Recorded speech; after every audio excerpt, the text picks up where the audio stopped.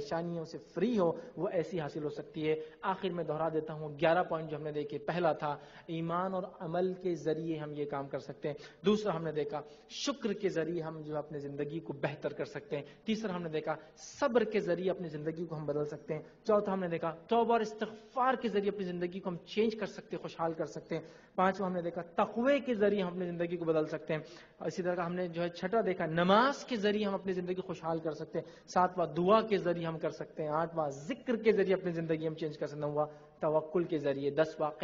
کے ذریعے اور گیارہواں ہم نے دیکھا دوسرے مسلمان بھائی کی پریشانی کو دور کر کے ہم زندگی کو بدل سکتے ہیں یہ خوشحال زندگی کے لیے بہرحال وہ چیز ہے